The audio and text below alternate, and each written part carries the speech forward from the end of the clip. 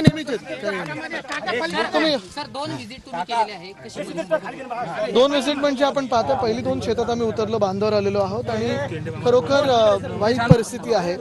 अजून काही काही ठिकाणी पंचनामे सुरू झालेले नाही आहेत काल रात्री मला वाटतं ऑर्डर निघालेली आहे. आणि आज महत्वाची गोष्ट म्हणजे पंचनामे सुरू झाले पाहिजेत नाहीतर जी परिस्थिती आहे ती सरकारला दिसणार नाही. नाहीतरी सरकारचं डोळे बंद आहेत कान बंद आहे लोकांचं काही ऐकत नाही काही पाहत नाहीये. पण काही प्रॅक्टिकल पण ज्या गोष्टी जसं इथं त्या पुलाचा विषय इथे जे पाणी साचतं हे गेले सात वर्षाचं साचतंय. तर आम्ही कलेक्टर महोदयांशी पण बोलणार आहोत पण काही तातडीने यांना मदत झाली पाहिजे ती अपेक्षित आहे. अनुभव असा आहे की याच्या आधी पाऊस आला नुकसान झालं मात्र मदत मिळाली मदत मिळाली नाही.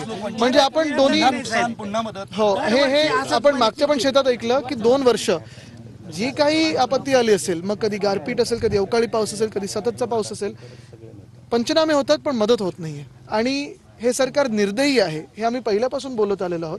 पण आपण पाहतोय की बळीराजा आज त्रस्त आहे हैराण आहे आणि त्यांच्यासोबत उभं राहण्यासाठी हे सरकारमधून कोणी उभं? मराठवाड्यात अकरा लाख हेक्टरवर प्रचंड नुकसान झालेलं आहे. मागच्या वर्षीपर्यंत जे गद्दार सरकारमधले कृषी मंत्री होते ते मराठवाड्यातलेच होते ह्याच जिल्ह्यातले होते आता पालकमंत्री आहेत पण त्यावेळी देखील फिरकले नव्हते आता कृषी मंत्री कोणीतरी दुसरं आहे. नाव देखील माहिती नाही महाराष्ट्राला. आपण पाहतो याच्यात राजकारण न आणता खरं तर मदत ही तातडीची झाली पाहिजे. मानव मंत्री पण उतरले आहेत आता पाहणीसाठी. हो मी मी तुम्हाला परवाच सांगितलं होतं कुठेतरी प्रेसमध्ये बोलत होतो की माझा दौरा जाहीर होत्याच. हे लोक आता उतरतील. आज मला वाटतं योगायोगाने इथे राष्ट्रपती महोदय पण मला वाटतं मराठवाड्यात आहेत.